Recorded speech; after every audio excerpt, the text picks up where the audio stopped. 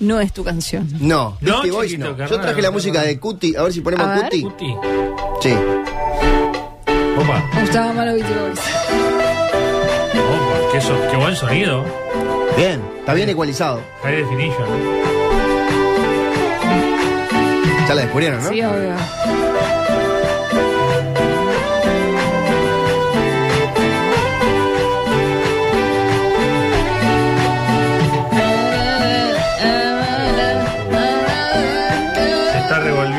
Tumba, pobrecita Dolores, vos, no se puede creer. Lo que estás haciendo, la vas a convertir a ella en una zombie, porque lo que estás haciendo, no tenés perdón ni de los muertos. Es una versión instrumental que hizo Cuti. Es Por lo buenísimo. menos tuvo el tino de no cantar. No, está bien. No, Estaba entre eso y alguna y alguna versión cantada en español, pero esto me pareció mejor. No, bueno, eh, Cranberries Sí. haciendo zombie. Sí, vamos a ir a. Bueno, no, Cuti, ¿verdad? Cuti, por supuesto. Sí. Bien, bien aclarado, porque es muy parecido. Es muy parecido. Capaz la gente se confundía. Eh, vamos a viajar a Irlanda del Norte, pero primero les cuento que aproveché este fin de semana largo para ver un montón de cosas que las vamos a ir repasando. Vi la tercera temporada, o la cuarta, creo que es la última, la de los Righteous Gemstones, la de los televangelistas con John Goodman. Ah. La mejor, la más, no sé si la mejor, la más Ah, graciosa de las tres, sí, de bueno, todas. Vi los primeros No episodios. sé si son tres o cuatro, pero ahí. la más graciosa de todas, y por supuesto la vamos a comentar, la serie documental de gladiadores americanos. Ajá. La vamos a comentar, creo que la semana que viene. Y está por terminar, queda el último episodio, creo que estrena viernes o sábado, no sé cuándo llega a HBO, de eh, How To, with John Wilson. Que es una serie de documentales producida por aquel que hacía de Rehearsal. ¿Se acuerdan de esa serie tan rara? Y es una serie de documentales rara, que también la vamos a comentar por acá. Va a valer la pena. Pero primero, algunas series se traspapelan y eso está bien, porque capaz que no valía la pena hablar de ellas. Claro. Pero hay otras series que se traspapelan Y que sí. y eso está mal, claro, porque dejaron grandes momentos y no las recordamos cuando se fueron. Y en el caso de hoy vamos a hablar de una serie que tuvo tres temporadas, que terminó el año pasado, pero que solamente la habíamos comentado en 2019, hace como cuatro radios más o menos. Sí. Valía la pena volver a ella. Muy y bien. me refiero, por supuesto, por si no se dieron cuenta por la música de Cuti, de Derry Girls. Derry Girls. Derry Alguien Girls. decía acá, Derry Girls. Exactamente, una comedia muy particular que contaba durante sus tres temporadas las aventuras de un grupo de estudiantes liceales en la ciudad de Derry, London Derry, Irlanda del Norte, pero, atención, no en el presente, sino en una época muy particular de la vida de ese territorio que era en los años 90, en los últimos coletazos Del Ira. del IRA de esa época que se conoció como los problemas, the troubles, Ajá. que era justamente los enfrentamientos entre el ejército del Reino Unido y la guerrilla del ejército republicano irlandés. Eh, en 2018, Lisa McGee había creado esta historia muy este, autobiográfica, no de lo, de lo puntual de las anécdotas, pero sí de vivir en esa época, Claro. ser un adolescente en esa época, en ese lugar. Y era este grupito de amigas el que se sumaba el primo de una de ellas, que para peor es inglés, era de Londres, pero bueno, llegaba ahí, había que darle cabida. Lo, lo muy bueno que tenía la serie, que ya del primer episodio, esto por si alguien todavía no la vio, desde el primer episodio queda bien clara la premisa, el ritmo, las relaciones, el tipo de humor que va a tener. Vieron que a veces decís, o a veces decís, en la tercera temporada se pone buena, a veces decís arranca un poco lenta, a veces decís, mirá el primer episodio y ahí está todo. Esta es una de las series que se puede recomendar con un episodio. Que debería de ser así. Debería ser así, pero bueno. de, de- de- de- La famosa descompresión. Sí, pero. Viste que te Ah, van. no, de le- gente en la hay, una. Sí, uno de estos tweets que anda dando vueltas, que por supuesto le va a parafrasear, porque no me acuerdo de nada, que dice que si hicieras hoy, por ejemplo, no sé, eh, una serie de televisión de eh, Robin Hood, el arco y la flecha lo encuentra en el último capítulo de la primera temporada. O sea, descompresión. Siempre arrancan antes. Y para llegar a lo que querés contar pasan 10 capítulos y cuando querés acordar ya la cancelaron porque no pasó nada. Nada. No es el caso de Derry Girls, decíamos. Eh, tenemos a la protagonista, se llama Erin, después está su prima Orla, que es una delirante tipo... ¿Qué nombrún? Nombre. Orla. Nombre. Es tipo, tipo Phoebe, ¿viste? ¿viste ese personaje delirante que tanto a la serie? Bueno, era la prima Orla. Después está Claire, que es la más activista, Michelle, que es la más cachonda, y su primo James. Van a un colegio religioso solamente de mujeres, pero el primo James las acompaña porque tiene más remedio. Es un pancho, es muy gracioso ese personaje.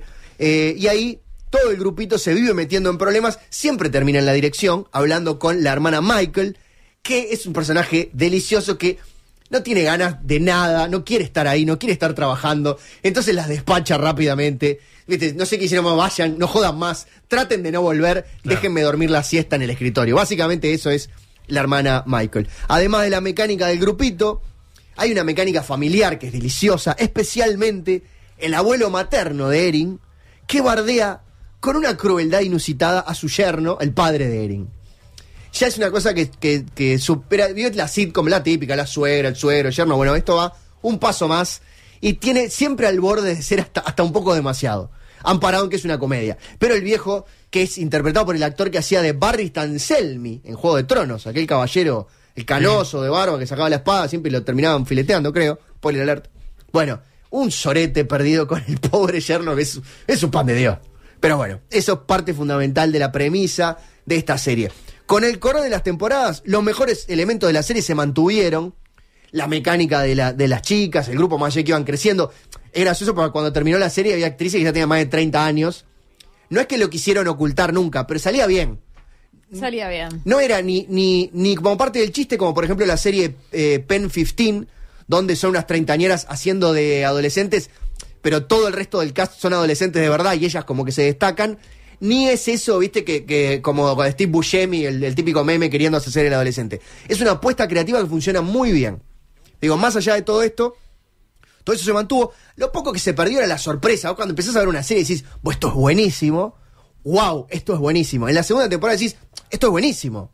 Pero falta la parte del wow, porque cuando un miau, ¿viste? Sigue siendo Sí. buenísimo. Y ya la tercera, no sé, el, el, el ruidito de un hamster, que como, esto es buenísimo. Pero como que vas perdiendo los ruidos anteriores. Algunos ritmos se repiten, pero está bien. Es, no, es- no es que la serie no haya arriesgado, cambian las, las historias, pero hay, hay como una cosa muy familiar entre las tres temporadas. Eh, sobre todo, por ejemplo, que cada temporada suele terminar con un tema de Cranberries en un momento en donde si no llorás, no tenés alma. Está sonando una alarma. Ah, ah, porque tengo, uy, tengo laburo, pero es como dos y media. Le decía, al final de cada temporada suena un tema de Cranberries y si no llorás es una demostración. ¿Se acuerdan de eh, Blade Runner? Sí. Que tenían el- la, la prueba para ver si eras un robot. Claro. Bueno, si no llorás, sos un robot. Perdiste de, y vienen a buscarte, sos un replicante y vienen a buscarte a su casa. Pero bueno, claro, son tres temas de Cranberries al, al final de cada temporada, pero es un golpe distinto en el corazón. Y, de- y la clave de la ¿Puedes acción, verla, entonces. eh, sí, Esa parte sensible, estando sensible. Yo creo que sí. Ok. No, eh, porque es, porque es eh, sensible lindo. Yo creo que cuando estás sensible hay que evitar el, claro, hay que evitar el sensible feo. No, no, acá es eso. En realidad debería aclarar, porque la gente ya lo sabe porque me conoce hace años. Eh, yo soy de los que, por ejemplo, lloran en las partes lindas de las Claro. películas y las series. Después tenés la gente que llora en las partes feas. La, la emoción linda, lo épico, Sí. lo- lo- el final feliz. Básicamente, el, el final de Babe, que a veces con- solo con recordar se me humedecen los ojos, el chanchito valiente cuando. Bueno, lo voy a tratar de resumir para no, para no quebrarme, pero el chanchito participa en la competencia de los perros pastores. Ay, se va a quebrar, me voy a quebrar. se va a Me voy a quebrar. quebrar. Por suerte no hay cámaras que me estén viendo. Eh, participa en la competencia de perros pastores y cuando arranca, todos se burlan, porque es un chanchito, no es un perro. Claro. Y él va despacito y no hace nada, y sigue pasando el tiempo.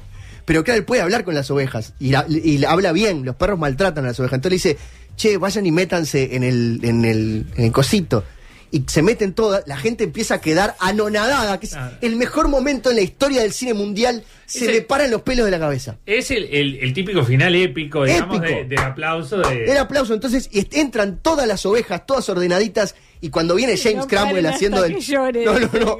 Cuando viene James Cromwell, que es el vos pastor, que es uno de los mejores actores de toda la historia, que es el hermano de, de Brian Cox en Succession, y el tipo cierra en cámara lenta la portera. No puedo, me estoy quebrando. Y empieza el aplauso y todos que tiran los sombreros para arriba. Es el mejor momento en la historia del cine. Y el que mira al chanchito le dice: Lo hiciste bien, chanchito, lo hiciste bien. Ya está. Lo hice bien. That'll do, pig, that'll do. Y, o sea, ese es, eso es lo mejor. Si no llorás con eso, Lloramos todos. lloramos todos. Pero bueno, hay gente que llora en los momentos más tristes. Yo lloro cuando el boxeador se levanta y da el piñazo final. No cuando le pegan al boxeador y, Claro. y ya no se levanta más. Claro, no es la que Rocky pierde, sino la que Rocky las gana. dos me acabo de dar No, está bien, hay gente que llora en las dos. Siempre Qué pongo el ejemplo. por Dios. Siempre pongo el ejemplo de aquella película del niño de la India que se perdía. Que era en la mitad de la película era él que se perdía del hermanito. No, no. Esa comedia, ¿no? llamando a, a- me acuerdo que se llamaba Adu, al hermanito que se perdía en una estación del tren. La primera mitad es él buscando al hermanito. Y la segunda mitad es cuando él vuelve de grande porque encuentra en Google Lo que Earth pasa es que a decís su aldea. hermanito, her- hermanito y No. lo haces más tierno y es todo mucho más No, triste. pero tenían tipo 5 y 3 años, era terrible. Pero yo lloraba en la segunda parte, cuando se reencuentra con su familia. Claro, está El bien. León se llamaba la película, o una de las traducciones. Sí, obvio, pero está bien llorar ahí. No, pero hay gente, pero no lloré en la primera parte, cuando él era chiquito y llamaba. a su Llorás cuando, T se despi- cuando ET se despide. Claro, lloré con ET. No, pero eso era triste en realidad. Triste. Pero yo era chico. Y no sé o cuando se lo llevaban a. Yo sí lloro todo. Bueno, y Derry. Girls. Ah, Derry Girl, perdón. Derry Girls, porque acá dice Derry Girls, amo, me Sí. encantó la serie, Sí. lo que me reí no tiene nombre, Sí. no paren hasta que llore, la gente le gusta torturar. Sí, Sí. no, casi Qué hermoso, el chanchito El chanchito feliz, feliz. lástima que en diciembre lo adobamos y con, y con un vino para adentro. Película del- de- escrita por el, por el mismo que hizo Mad Max. George Miller es un genio, es el puto amo. Hace todo. Bueno, la serie, básicamente, la clave de la serie es encontrar la normalidad y la vida cotidiana en medio de la tensión de un conflicto muy jodido. Que no quiere decir, no sé, si no hago nada no me pasa nada, sino que es esa cosa de supervivencia que tiene la especie humana, es necesito seguir viviendo porque no sé cuándo va a terminar esto. Entonces, encontrás una nueva normalidad. De verdad, una nueva normalidad. Y sobre todo sos adolescente. En el primer episodio, que por eso lo tiene todo, paran el, el autobús escolar un montón de milicos porque están revisando, ¿viste? Y después ellas se van al liceo y joden en el liceo porque no tienen. Porque la vida de ellas es así. ¿ya? Sí, claro. Entonces, la tercera y última temporada, que era la excusa para hablar hoy, no, para mí no es la mejor de las tres, pero de todas maneras le pasa el trapo a casi cualquier temporada, cualquier otra serie. Así que bien. O sea, no es guau ni miau, pero es el hámster Claro. de Derry Girls. Hay, hay algo que tiene mucho sentido, pero que se extraña un poco, que es la rencilla entre suegro y yerno, que baja un poquito. Capaz que era un chiste un poco repetido, casi condoritesco, pero se extraña. Pero eh, los disparadores de humor de esta tercera temporada también son increíbles. Los puntos altos, si quieren, de Derry Girls para todos ustedes, antes que vuelva a pensar en Babe y vuelva a llorar y llega a casa y tenga que comer un refuerzo de queso de cerdo, que lo sigo haciendo sin problema. Sí, claro. Porque así de contradictoria es la vida. Ah, exacto. No, pero capaz que lo tenés que dejar por un tema de salud, Ah, eso no sí. por un tema de... No, claro, claro, que- pero no por la película. No por la película. No, ya sé, pero la- la- por lo general la gente me dice que lo deje por la salud. La suma de las partes es para mí el punto más alto. Es algo que cada- en algunas series lo mencionamos. El todo. El todo es mayor que la suma de las partes. Es una serie con una primera temporada virtualmente perfecta, que si no repite la segunda y la tercera, porque nos sorprende, como decía, pero y porque uno está esperando la excelencia. Pero de todas formas, cada bloque de episodios es muy fuerte, está construido con guiones muy ajustados, con muy buen humor, actuaciones brillantes. Funcionan todos. Sí, todo funciona. Ninguna cosa es como que es súper, súper la mejor actuación que vi en mi vida, el mejor chiste que vi en mi vida, pero todo contribuye para hacer una serie casi perfecta. Eh, eso, no hay bizarrismo, no hay bizarrada en que ellas hagan de adolescentes, los valores de producción son muy correctos y la suma de todo es la clave del éxito, como cantaba Las Pelotas. La extensión dorada, una lluvia dorada de episodios prácticamente, porque seis episodios de menos de media hora es la medida justa. Sí. Es la temporada justa. 18 episodios en total. Además son muy dinámicos. Sí, son 19 porque hay un- una especie de epílogo que viene Ah, al final está bravo. de 48 minutos. Lo arruina todo. Lo arruina todo. Pero bueno, son muy dinámicos, es muy maratoneable la serie. Eh, cada bloque es maratoneable, disfrutable y además revisitable. Es una de esas series que si tenés un rato la podés volver a ver, te va a volver a encantar. Y obviamente, si entre dos series que pintan bien, mirá la que no viste. Pero si lo otro que tenés no te está ofreciendo mucho, es tipo, no sé, Los Gladiadores Americanos, el documental, que igual está bueno, y capaz que podemos ver chiquito, nuevo. hay tantas series. Pam, para, pam, pam, pam, para, pam, pam. Esa le voy a cantar la semana que viene. Hay tantas series, exactamente.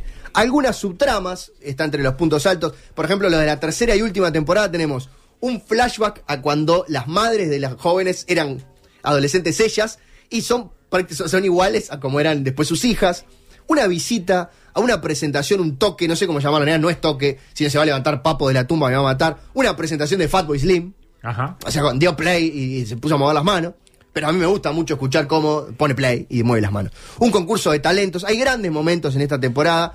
Dos o tres cameos geniales. Que no quiero adelantar nomás para que se sorprendan cuando los vean. Uno que hace de, de policía, por ejemplo, que es maravilloso.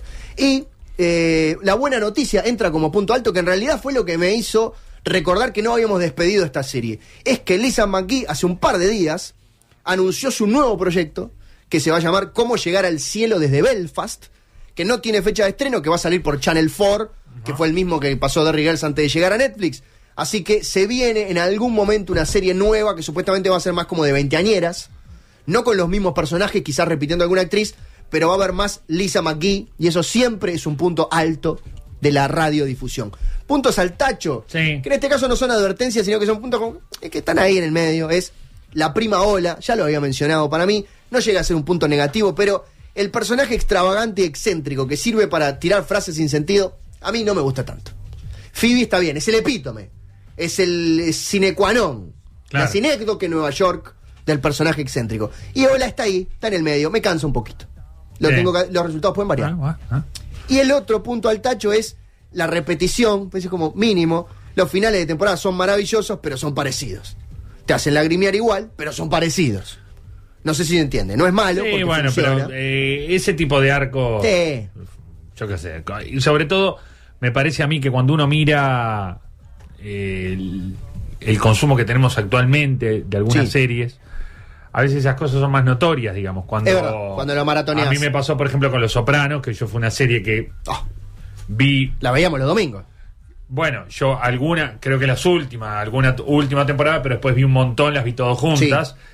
Y vos notabas que más o menos había ciertas cosas que como que se repetían. La aparición de un personaje nuevo, un familiar que venía de no Uno sé que- dónde, uno que- que estaba preso y que salió. que era buena onda y al principio Sí. estaba todo bien y después terminaba siendo un problema y lo terminaban limpiando. Totalmente. O sea, era como... eh, eh, Sí, un patrón. Claro, entonces si vos lo veías eh, todos los domingos, una vez por año, Ah, te olvidás, digamos. Sí. Ahora, cuando vos lo ves todo junto, decís, bueno, esto es más o Los oh, Sopranos es una serie de baja maratonibilidad.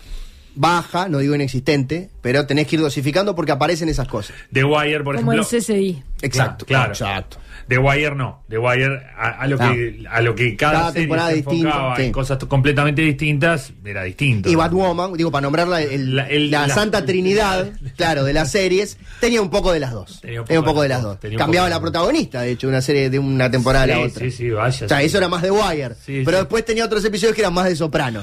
Por eso Este- es una mezcla de los dos, por eso la, la supera. Habla de On My Block, la próxima, chiquito. No sé ni qué es. On Yo My tampoco sé lo que- No tengo- Esta vez voy a la decir la verdad, no sé cuál es. Sí, sí, ya sé La cuál de la chica. No, no, pero no sé cuál es de verdad, la voy a googlear Bueno, después. sí. Se- pero se viene Gladiadores Americanos, Gemstone y aten- pónganse al día Ay, con How to. Gemstone. ¿Eh? Voy a tratar de seguir. Sí, por supuesto. La próxima, la semana que viene es una serie documental sobre gladiadores americanos. Perfecto. Pam, para, pam, pam, para, pam, y todo eso. ¿Y jueves? Y jueves, uh, esta semana, He-Man y los Amos del Universo, la película con actores de los años 80. Dios me ampare. Sí, Dios me sí. ampare. Empiecen a rezar ahora. Chiquito, te voy a volver mínimamente Sí. para atrás porque Netflix, te hago una pregunta importante. Sí. No. La de los gladiadores americanos. Sí. Si te si no consumiste gladiadores americanos, porque entiendo que hay ciertas cosas a veces que tienen como un Un rango etario. Sí, que te- te- la gracia es que vibrás porque vos consumiste. A ver, Sí. voy a poner un ejemplo. Yo sí miré el- los programas de lucha con Hulk Hogan. Claro. pa, pa, pa. No, tampoco era enfermo de eso, ¿no? Pero bueno, vamos a poner eso como ejemplo. Entonces salió una serie documental sobre eso. Y bueno, para mí me mueve una fibra de cierta nostalgia, Sí. de recuerdo, porque. Ahora, en mi caso, los gladiadores americanos es una cosa que me pasó absolutamente por el costado. Bien. Sé que eran unos señores que se pegaban con unas cosas Sí, básicamente. pero nada más. O sea, nunca vi, creo, un episodio. Bueno, yo no sé qué tanto. Sí, Tiene sentido que yo mire, que, que utilice el tiempo de mi vida para eso, más allá O de el- poder o el hacerte- mío. Mira, No, hace- yo para le que digo, te hagamos de eh, dos no, no, y está de bien. tres. Es- no, al revés. Esperen una semana y yo al aire los, los- los voy, les voy a convencer Bueno. de que vean por lo menos, no que busquen en internet las temporadas, siete temporadas completas, que ni acá dieron todo, pero sí que vean ese documental. Se los voy a vender bien. Bueno, Con sus puntos nachos y sus cosas, pero se los voy a vender bien Que hay que aguantarse hasta cuándo? Jueves, el próximo martes. ¿No?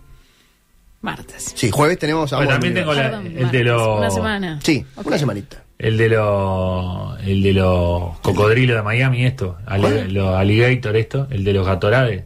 Later, alligator. No sé cuál Este, es. El, el equipo de fútbol americano que está ahí, Ah. y no sé si Eh, no bueno. mirar eso. Que está, Eh, esa sí que no la veo. Ahí hay un montón de cosas. está la del Tour de France, la de los mariscales. También puedes no mirar nada y hacer otras Ah, cosas. No, miré, Eh, uh, miré, no miré la primera. Para esperar hasta el martes. Hay que Miré, televisión. Sin miré la primera temporada de 1926.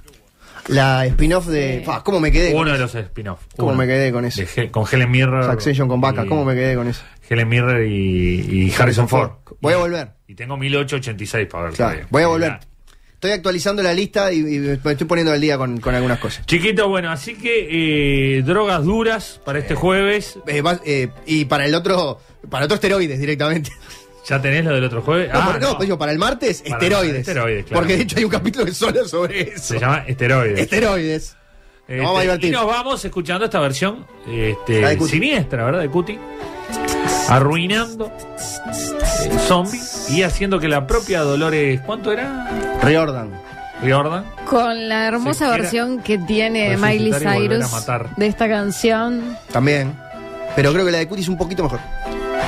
Son puntos de vista. Los resultados pueden variar. Gracias, chiquito. A ustedes.